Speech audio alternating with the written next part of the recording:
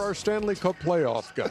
You keep talking like that, the Godfather. You're gonna find yourself with No, I- cement I- shoes in the ocean. I love it when I love it when the when the You're Chuckster branches the out. fishes. I'm thinking about Monday night in Miami going to the Florida Panthers game.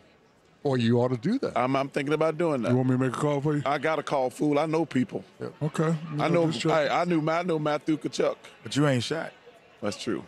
Is he any? Is he related to Walter Tkaczuk? Who the hell is Walter Tkaczuk? Walter Tkaczuk played for the New York Rangers back when I was a big hockey fan when the Atlanta Flames were around. I don't know that. I know Walter Tkaczuk play with Phillips Esposito.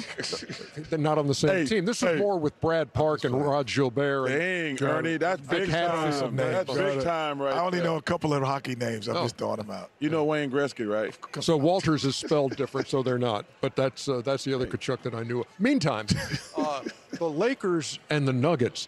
Uh, so how strange is it now that three of the four teams we got left um, unbeaten at home?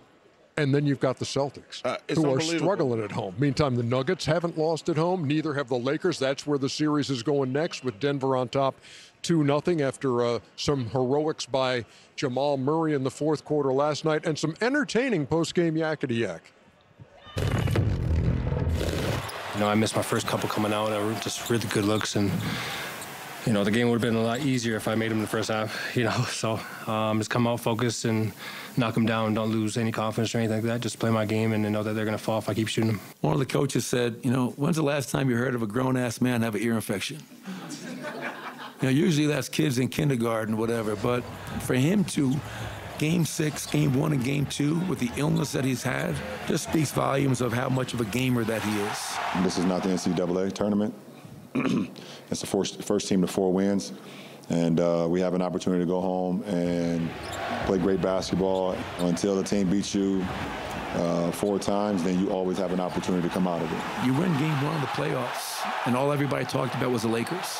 Let's be honest, that was a national narrative was, hey, the Lakers are fine. They're down 1-0, but they figured something out. No one talked about Nikola just had a historic performance. The narrative wasn't about the Nuggets. The narrative wasn't about Nikola. The narrative was about the Lakers and their adjustments. So, you know, you put that in your pipe, you smoke it, and you come back, and you know what? We're going to go up oh. 2-0. Put that in so your old pipe school. and smoke Is it. he talking about hookah or cannabis? Grown ass man with an ear infection. I, just, Man, He's still, yeah, I he's- told you that was he's some old good school. yakety yak. blueberry mint. I would actually like to. Indian. I would actually like to address that. Well, I, You you know, address what? Mike Malone. I know he watches a Michael little bit too much TV there. I call him when I want to call him. He can't whoop my ass. Oh wow. Um, first of all, mad at him? I've been on the Nuggets bandwagon all season. I've been on the Joker all season. I have picked Nuggets to win the championship. I don't care what those other networks do. But Mike Malone is starting to get on my last damn nerve. Why? Being whiny. He ain't got to talk about the Lakers. He ain't got to worry about what these fools on the other networks are saying about the Lakers. He got the best team in the NBA. He's doing a hell of a job. That boy Joker, that man is out there. He kicking ass and taking names.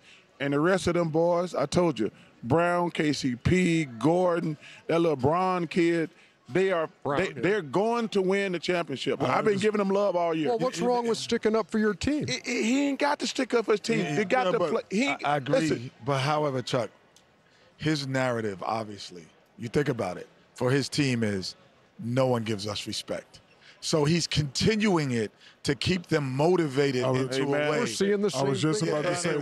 that- that's his motivation. I was just I don't, about to I say don't want to see him on TV whining. Well, that's you. Uh, but he's well, I'm he's talking for to me. But he's talking to Too those good 12. of a coach. He's talking to those 12 too good dudes, of a coach, too good of a team to be And worried about what fools on TV say. And listen, Us at this point, at this point of the season, when you're a hell of a player and people ain't mention your name, that gets you going. You know that.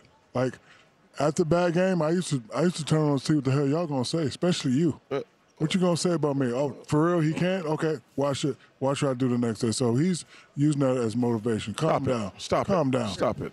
Yeah, I- it is. It's obvious Please. that he's The cry in the Denver Nuggets locker room is, we don't get respect nationally. I've been giving So we're going to show the world, year. and we're going to shock them. Yeah. Yeah, well, both of us picked the They, Nuggets. they, they so not, like, it's they- like, they're not so think about that. Okay, well, then call me and Ken and Mike and tell us We- you we appreciate. We ain't on no other bandwagon. We on your bandwagon.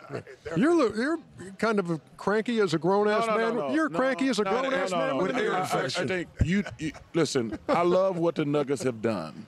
I, know. love it, and It's I know great. you've been behind them the whole time. Oh, and Also, I'm- you got to shout out Calvin Booth. Calvin Booth has done an amazing uh, job. Going out what getting he's Brown done. and KCP. PP, oh my God. I love what they're doing. And listen, like I say, they're gonna win a championship in my opinion.